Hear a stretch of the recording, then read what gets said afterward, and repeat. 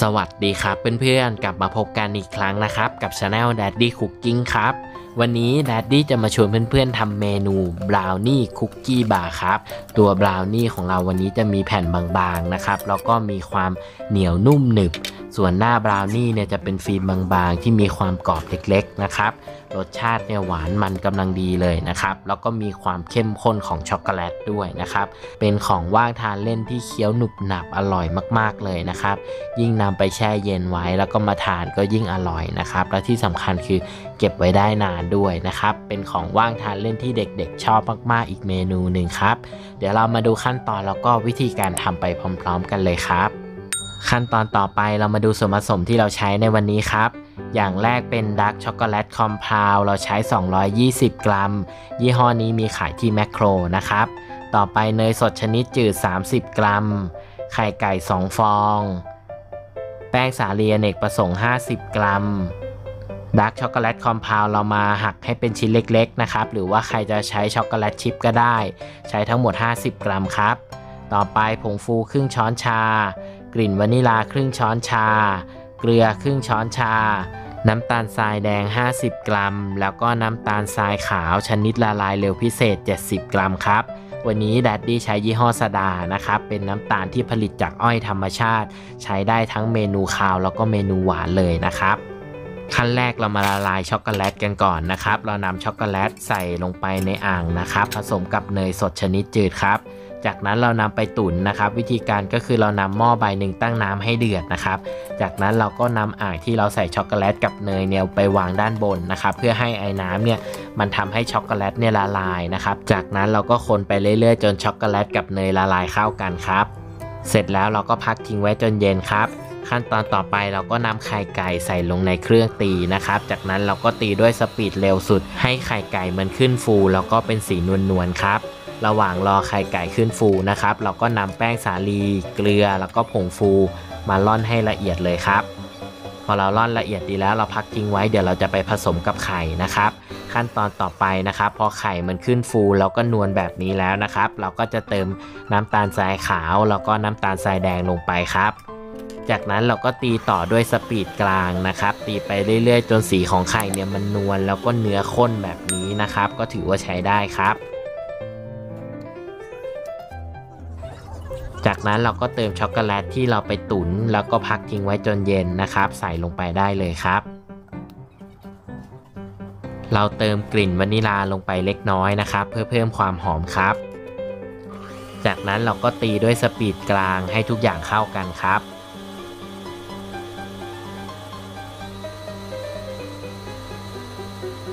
ตีไปเรื่อยๆ จนทุกอย่างเข้ากันนะครับ ระหว่างนั้นเราก็ต้องหยุดมาปาดโถนะครับ เพื่อ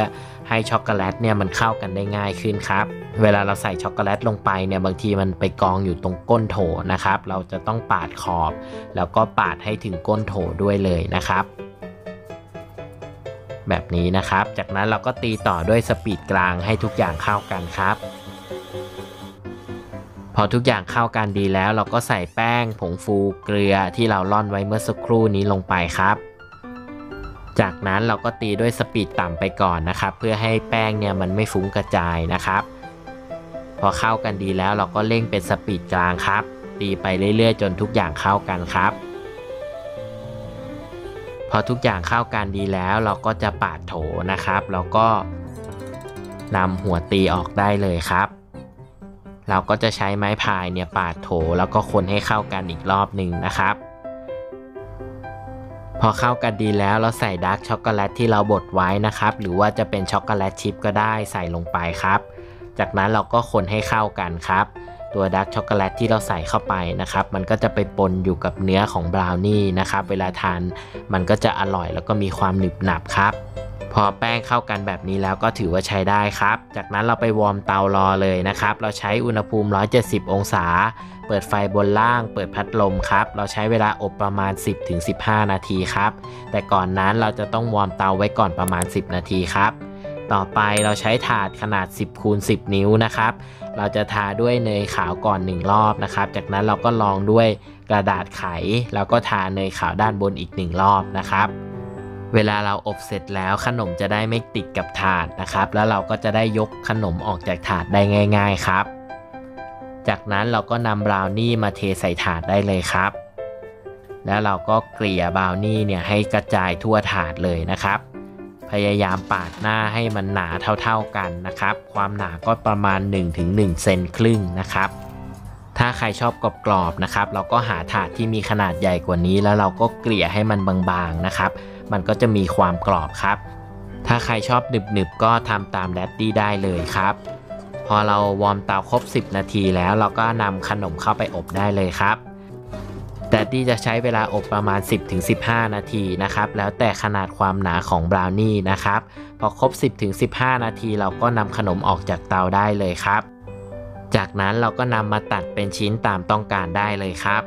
Daddy ใช้ที่ตัดขนมปังกดลงไปได้เลยนะครับ ตัวหน้าของบราวนี่เนี่ยมันก็จะเป็นฟิล์มบางๆนะครับ ตัวนี้มันจะมีความกรอบนิดๆนะครับ ส่วนตัวเนื้อข้างในเนี่ยมันจะมีความเหนียวนุ่มหนึบนะครับ แล้วก็จะมีช็อกโกแลตแทรกอยู่ตรงในเนื้อด้วยนะครับ เวลาทานก็จะได้ความหนึบหนับ แล้วก็ได้ความเข้มข้นของ dark ช็อกโกแลตที่เราใส่ลงไปด้วยนะครับ เราก็นำออกจากถาดนะครับ แล้วก็พักทิ้งไว้ให้เย็นครับ จากนั้นเราก็นำมาทานได้เลยครับ เท่านี้ก็เป็นอันเสร็จเรียบร้อยครับ เมนูบราวนี่คุกกี้บาร์นะครับ เป็นเมนูของว่างทานเล่นที่เคี้ยวหนึบหนับอร่อยนะครับ แล้วก็มีความเข้มข้นของช็อกโกแลต มีความหวานมันกำลังดีเลยนะครับ สามารถเก็บไว้ในตู้เย็นทานได้หลายวันเลยนะครับ ยิ่งเก็บไว้ในตู้เย็นก็ยิ่งมีความหนึบหนับ มีความอร่อยมากขึ้นด้วยนะครับ เพื่อนๆลองไปทำทานกันดูนะครับ ถ้าชอบคลิปนี้ฝากกดไลค์กดแชร์กด Subscribe เพื่อเป็นกำลังใจในการทำคลิปต่อๆไปของพวกเราด้วยนะครับสำหรับวันนี้แดดดี้ต้องขอตัวลาไปก่อนนะครับ แล้วพบกันใหม่คลิปหน้าครับ สวัสดีครับ